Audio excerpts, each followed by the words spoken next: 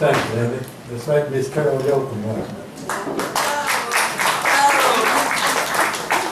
Okay, we're gonna be at P and D, and, uh, uh, have I told you lately that? Hold on a second. Yeah, and I'll just stand back. Okay, I'll give you a little intro here.